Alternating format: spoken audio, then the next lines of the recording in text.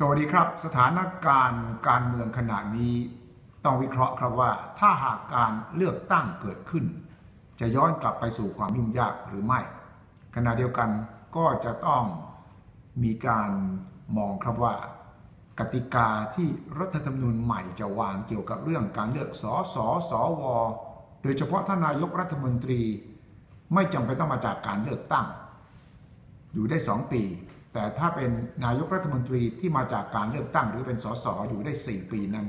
จะทำให้บรรยากาศการเมืองเปลี่ยนแปลงไปในทางที่ดีขึ้นหรือไม่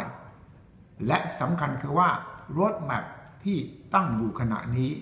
จะเลือกตั้งในต้นปีหน้าได้อย่างที่ตกลงรับปากกันหรือไม่ นี่คือประเด็นที่ต้องตรวจสอบจากนี้ไปครับ